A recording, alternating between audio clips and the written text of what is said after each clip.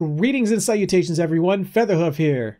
And I come before you today because uh, I feel that I finally can. This has nothing to do. This has very little to do with the fact that the other video I posted today was a lot shorter than I had anticipated, and I really don't have much time to record anything else of a decent size. See, I had to put a little bit of humor in there because I am still feeling the feels right now, man.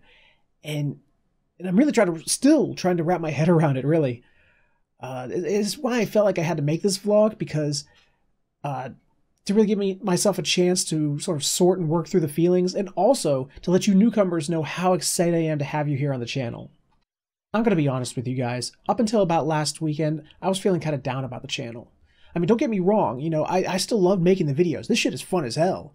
But it's like with any art, if you can really call it that, it, you want it to be seen, you know?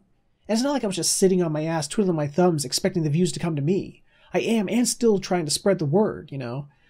It's just but but when you consistently see no views and a stagnant sub count, you know, and you feel like you're trying really hard, it'll get to you at least a little. At one point, I reached out to someone for some advice, someone whose work I'd followed for years, but never really spoken to. I to be perfectly honest, I, I highly doubted I'd ever get a response, or that he'd even read it, to be perfectly honest. But I thought, eh, what's the worst that can happen, you know? I mean, at least I can say I tried. With no expectations of anything was going to come out of it. But his prompt response was both kind and supportive. And he at least said that he would take a look at my content, you know? Well, that was a while ago, and I figured that's where it ended, you know? I went to bed on the night of the 27th of September with my phone buzzing and that, stu- that little uh, Twitter notification icon on the top of the screen. I dismissed it. I didn't even bother to unlock my phone to look at it. But when I woke up next morning to shut off my alarm, and I saw that in the Twitter feed of comedian 2 the Ranting Gryphon was mentioning me and telling, you know, and linking to my channel and my videos and just promoting me completely out of the blue and when I went over to my YouTube channel and saw that my subs had increased over 200%, and the v- videos which he was promoting had mad views, ladies and gentlemen, you cannot imagine. You know, I suffered feels like you would not believe.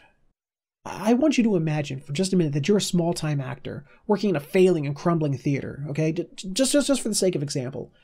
And it, it, during one of your shows, a big time actor, someone you love, walks in, sits down, and watches your show.